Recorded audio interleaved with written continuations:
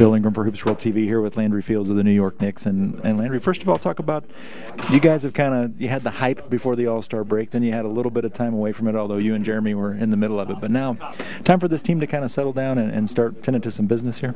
Uh, yeah, definitely. I think uh, with the core group that we have, the number of guys we have, with the depth that we have, uh, we're definitely going to make a great push. And with us, it's all about coming together and uh, doing what the coaches ask. And you know, I think we're, we're on our way to doing that. It seems like Jeremy's kind of coming down to earth a little bit, but having Baron Davis, Mike Bibby, Tony Douglas, does it help him to have so many guys to kind of pick their brains at, at his position? Uh, definitely, you know, especially with Baron, because uh, he's been in the league so long. He's been there before. I think he's really helped out Jeremy and what he's doing. But you know, obviously, I don't want to speak for him, but uh, just you know, from what I see as an observer, and uh, you know, I think with that kind of advice, it's going to help him out for his entire career.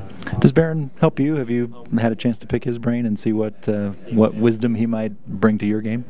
Yeah, a little bit. With Baron, he he's more so about approaching you than you necessarily need to approach him. It's, that's what's great about him. So uh, here and there, he gives me some advice, and I always take it to heart. It's pretty good. Talk about Tyson Chandler's impact on this team with the championship mentality, and him also being a very verbal leader.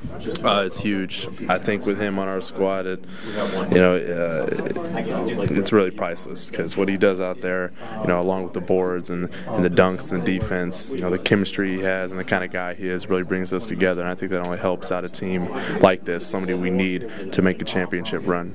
You allowed yourself to look at the schedule coming up. You've got a couple games with the Pacers. you've got Philadelphia. You've got San Antonio. I mean, the the schedule for the rest of this month is going to put you up against a lot of playoff teams. Do you look at that and think this is a chance to kind of prove that you guys are among the the elite of the league there? I think it's going to be a good test for us. Uh, I I don't personally look too far ahead in the schedule because there's so many games and the focus really is right now. But with the games like that coming up, uh, it's going to prepare us well for the playoffs. Finally, where do you feel like you know you guys got a thumping from Miami and then a heartbreaker to, to Boston, but I feel like you're close to being in a, in a place where you can consider yourselves to be maybe contenders now this season? I definitely think so. I think just a few minor adjustments uh, before we become that team, but uh, it's definitely not with not not within our reach. Is that the way to say it?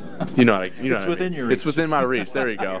So double negative, cancel it out. But uh, you know, that's uh, it's something that we should do, and I think we're on our way.